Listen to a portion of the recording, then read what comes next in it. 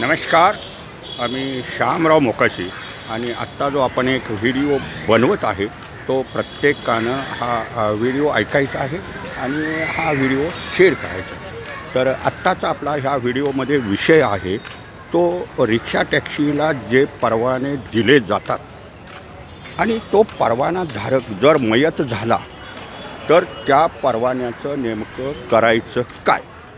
तो परवाना दुसऱ्याच्या नावावर होतो का? किंवा त्याचा वारस हा सिद्ध करता येतो का? आणि ती गाडी आणि ते परमेट त्याच्या नावावर होतं. हे कायद्यानुसार तरतूद आहे. जर एखादा परवानाधारक मयत झाला तर तुम्हाला तात्काळ आर टी ओला एक पत्र द्यावं लागतं. की डिस्पॅच करायचं तिथं इनवड विभागात जाऊन की अशी अशी व्यक्ती आमची गाडी नंबर हा होता हे रिक्षा चालवत होते. त्यांचा परमिट नंबर हा आहे गाडी नंबर हा आहे. आणि ते ह्या दिवशी स्वर्गवासी झालेले आहेत असं एक पत्र तयार करायचं. आणि त्याला तुम्ही मृत्यूचा दाखला जोडायचा आणि त्याची एक कॉपी घेऊन ठेवायची. त्यानंतर तुम्हाला पुढचं प्रोसिजर आहे की तुम्हाला एक दोन पेपरमध्ये बातमी द्यावी लागते एक मराठी आणि हिंदी. लोकांना समजावं. असं मग आर टी ओकडं एक एक अप्लाय करावा लागतो. तर जर एखाद्या परवानाधारकाला प्रथम प्राधान्य कुणाला आहे? जर तो विवाहित असेल तर त्याच्या पत्नीच्या नावावरती तो परवाना होतो. जर त्याचा विवाह झाला नसेल आणि मग त्याची आई असेल आईच्या नावावरती तो परवाना होऊ शकतो. परंतु एखाद्या परवाना धारकाला एक अज्ञान मूल आहे. आणि त्याची पत्नीही नाही. फक्त तो मुलगा अज्ञान मूल हे एकटंच वारस आहे.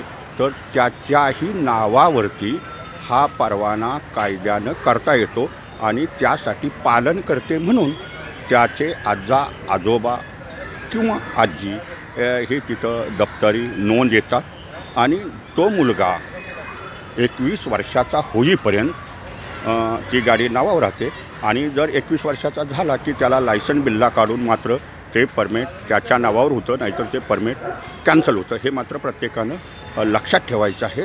त्याच्यासाठी तुम्हाला जर अशा केसेस नुसत्या मुंबई महानगर क्षेत्रात जवळजवळ दीड ते दोन हजाराच्या आसपास अशा ह्या रिक्षांचे परवाने पडलेले आहेत.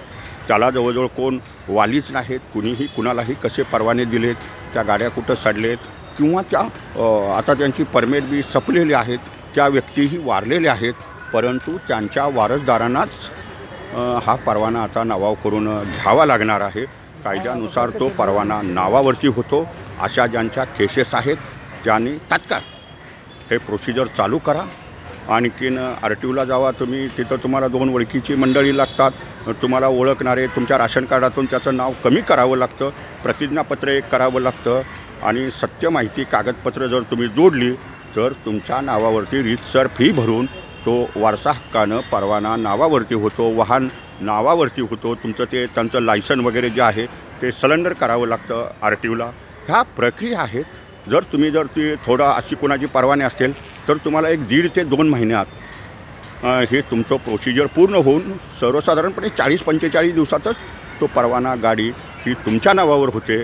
तर ज्यांच्या काय अशा केसेस असतील तर त्यांनी ताबडतोब आर टी ओला जाऊन ही आपली वाहनं नावा करून घ्या आपले परवाने पुनर्जीवित करून घ्या. जर तुमच्या त्या वाहनावरती लोन असेल तर बँकेला जाऊन तुम्ही विनंती करा आणि बँकेकडून तुम्हाला एक लेटर घ्यावं लागेल की एच पी अशीच असून द्या आणि हा परवाना त्यांच्या वारसा हक्कानं ह्यांच्या नावावर करा. हे तुम्हाला पत्र लागेल. हे बी मात्र विसरायचं नाही. पण ताबडतोब जर अशा केसेस असतील तर त्यांनी पत्र इन्वर करा आणि प्रोसिजर चालू करा. महिन्याभरात तुमचं ते काम होतं. धन्यवाद. मूचवाले मोकाशी यूट्यूब पहा. लाईक करा शेअर करा सबस्क्राईब करा.